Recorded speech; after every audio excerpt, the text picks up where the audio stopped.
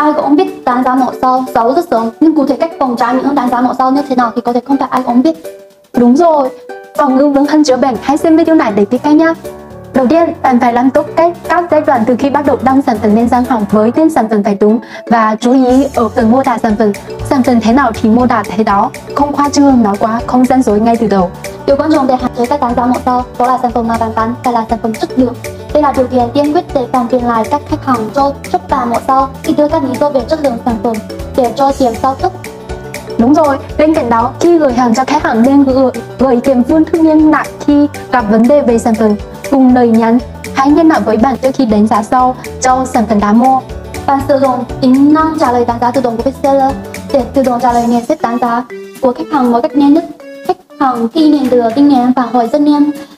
bạn sẽ cảm thấy được tôn trọng hơn bạn miền được một Đúng rồi, bạn làm theo trước khi có đánh giá một sao xem có hạn chế được các đánh giá một sao không. Chúc bạn may mắn nhé!